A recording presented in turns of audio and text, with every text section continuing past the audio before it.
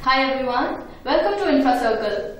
Today's topic of discussion is the proposed restructuring of International Coal Ventures Private Limited, which is a special purpose vehicle which was created to help country achieve fuel security. And we have with us Managing Editor Utpal Bhaskar. So before we begin, Utpal, I would like you to tell us about InfraCircle. So, uh, thanks for the question. InfraCircle is uh, all things infrastructure and policy in this country. Basically, we are talking about news coverage and analysis to the depth which is required for the sectors which we cover, which includes power, coal, uh, renewable energy, resources, ports, shipping, aviation. You think of a thing which is infrastructure related in this country, and then this is the platform where you get to read all of it.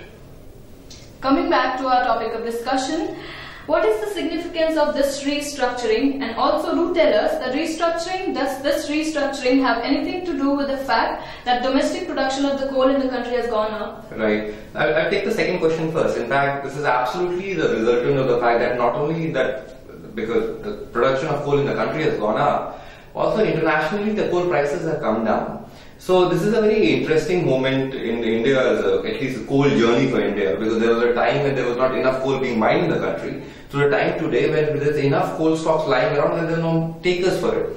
Also coming back to the first question about the restructuring and the need for it, of course, because there's a time no organization or an entity or, uh, or any commercial entity would like to go forward in a scenario like this where there are no enough takers for coal, the prices are depressed and also given the fact that you're talking about a long-term fuel security for India as well, for which ICVL is the primary vehicle.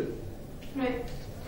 ICVL acquired Rio Tinto's 2.6 billion tons coal assets in Mozambique in July 2014 for $50 million, which happen, what happens to that? Uh, see, as, as I said, uh, uh, these are long-term bets that one needs to take.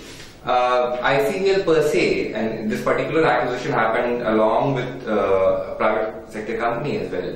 But when you look at ICVL, the very nature for the existence of ICVL is as a, it has both a commercial and a strategic intent as well. So purely from a commercial point of view, it doesn't make sense to mine the coal at this point of time, given the fact that mm, it does not only require coal mining, there has to be associated infrastructure created for it. For example, there has to be a railway line which has to be set up, which is a long, it's, it's a large capital expenditure uh, commitment as well. So that's one part of it. Also given the fact that today when we are talking about the India being one of the fastest growing large major economy, also given the fact that there, there we are talking about numbers, speaking of growth numbers as well, you will be requiring certain building blocks for this economy. So that will, for example, you will require uh, power generation to start with, electricity being the primary driver for it. You will be also requiring uh, fuels such as coal for steel and other sectors as well.